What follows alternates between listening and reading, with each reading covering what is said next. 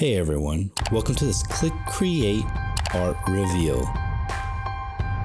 Today we have Sundial Slice.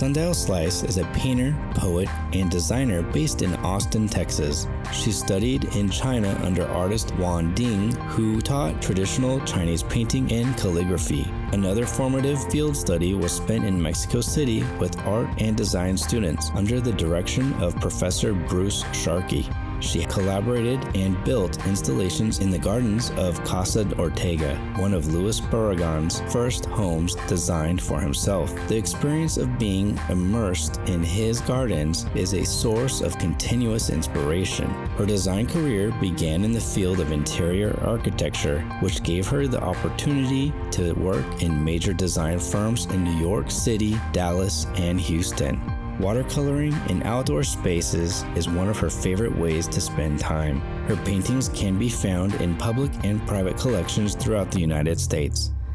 Everybody, please welcome Sundial Slice.